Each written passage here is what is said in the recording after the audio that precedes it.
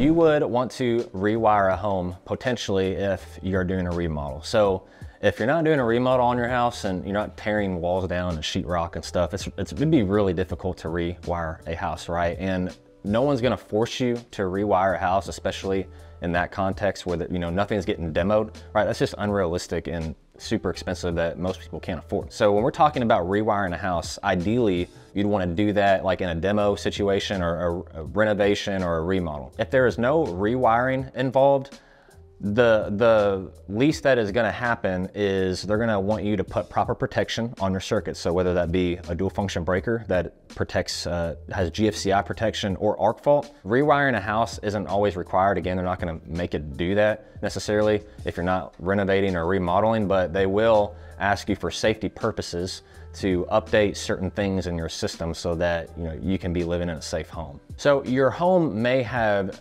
all the circuits or maybe some of them that are ungrounded circuits. So there's no ground wire in the, in the wiring. So you can have what is called a, is knob and tube, and that was a really old wiring system back in the late 1800s, all the way up to about the 1940s. You know it because uh, when you when you tear down walls or go in your attic, you'll see it's it's just a hot and a neutral, two wires that have like cloth sheathing on it, and it's wrapped around knobs uh, when it goes down a wall. So that was the, the old way of wiring.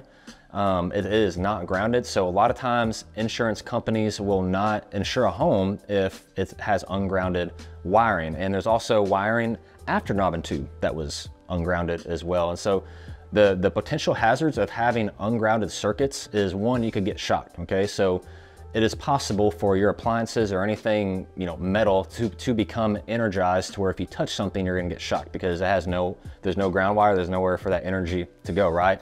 Or the second thing is, is that there's no surge protection. So in the case of a surge or, or whatever it may be, none of that energy or that electricity has anywhere to go. It's just gonna stay, you know, in the device or in the appliance or even like in the panel. Anything metal be, can become energized if you don't have ungrounded circuits, whether it's knob and tube or some, you know, later wiring after knob and tube. So a home inspector is gonna catch that and depending on the context or situ situation, you may need to do a rewire. If you don't have to do a rewire, you can always update your breakers and your receptacles to so you don't have to go through all the rewiring process. You can solve this issue with ungrounded systems with, without rewiring your entire house. And there's really two ways you can do that. You can add GFCI protection through a receptacle or through a breaker. And so that is going to eliminate the possibility of you potentially getting shocked um, by maybe touching an appliance or touching anything metal. And so you wanna make sure that if you're not gonna rewire a house, you can always upgrade your systems and have uh, um,